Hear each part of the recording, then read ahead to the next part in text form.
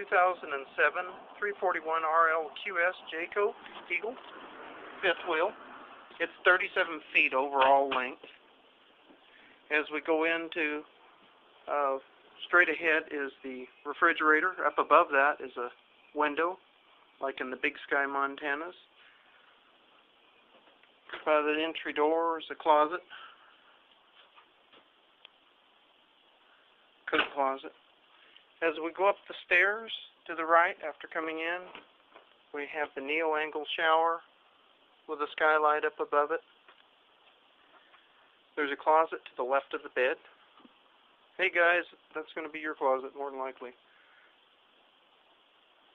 It's washer dryer ready. It has all the faucets, plumbing. It has two ducted air conditioners, usually a bedroom AC and it's non-ducted. Drawers. There's more drawers in this cabinet area.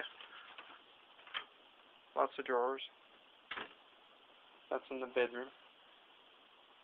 There's the sink, shower, linoleum in the bathroom and kitchen area.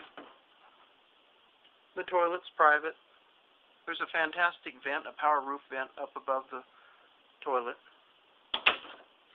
Walking down the stairs,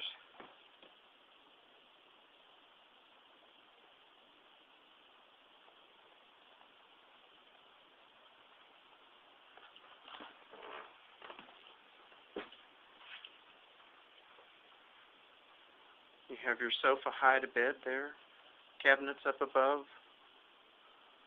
Nice big rear picture window, so if you're at the lake, carpet's like brand new. Has a computer desk,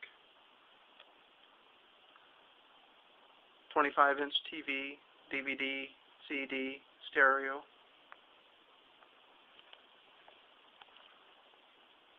More overhead cabinets, lots of kitchen counter space.